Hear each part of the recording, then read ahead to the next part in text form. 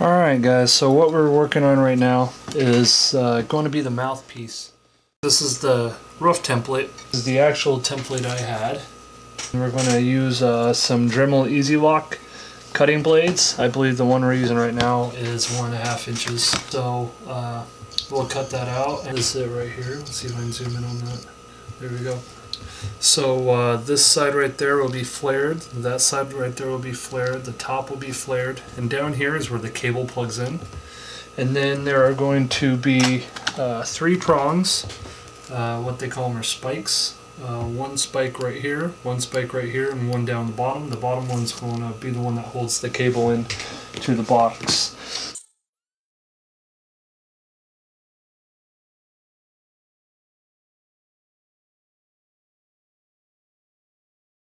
Can see what it looked like before and what it looks like after and what we're trying to get at. We need one more, so let's make it look pretty. So it's looking pretty good there. Let's just try to pop that out without cutting into it anymore. So it's starting to take shape. Let's just keep going at it. Uh, 120 grit. Alright, so we'll just clean that up a bit and that's good. Take that off and just start touching it up. Alright, so I cleaned it up a little bit. Now what we'll do is we'll just take the file and sand it down. So that's the one we just did. This is the one I did.